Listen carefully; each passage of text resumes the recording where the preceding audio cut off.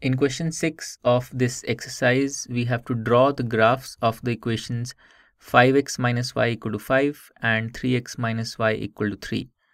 Then we have to determine the coordinates of the vertices of the triangle formed by these lines and the y-axis. Okay, so let's start with the first equation which is 5x minus y equal to 5.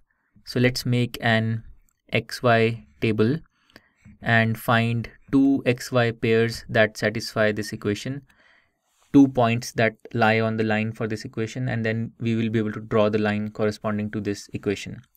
So if we substitute x equal to 0 here then y becomes minus 5 so 0 comma minus 5 is one point on the line of this equation and I could substitute x equal to 2 and that will give me y equal to 5 so I have taken values of x that give me integer values for both x, x and y because that makes it easier to plot them.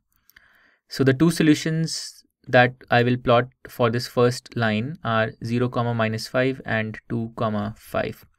Now let's take the second equation. The second equation is 3x minus y equal to 3. Once again, let's make an xy table and give two values to x that give us integer values for both x and y. So if I take x equal to 0 then y becomes minus 3 and if I take x equal to 2 that makes y equal to 3. So two solutions, two points that will lie on the second line are 0 comma minus 3 and 2 comma 3. Now let's plot the lines corresponding to these two equations. So here are what the lines will look like.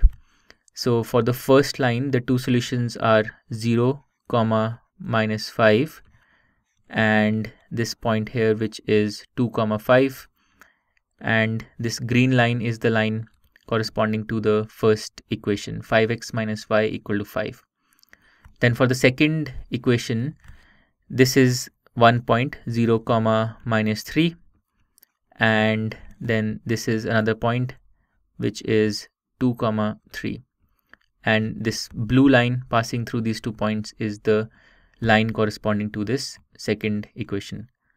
So that with that we've plotted the lines.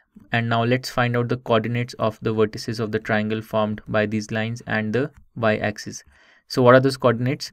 So one is this point 0 comma minus 3 this point here then one is this point 0 comma minus 5 which is this point here. And then one is this point which is 1 comma 0 so these three vertices are the vertices of the triangle formed by the two lines and the y-axis this vertical y-axis.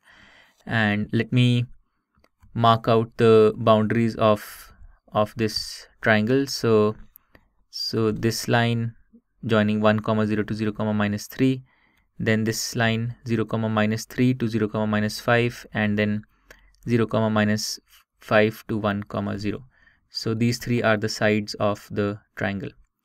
So with that question 6 of this exercise is completed. To learn more about how Cuemath can help you crack school and board exams, explore Cuemath Leap a live online classroom program run by highly experienced and committed teachers.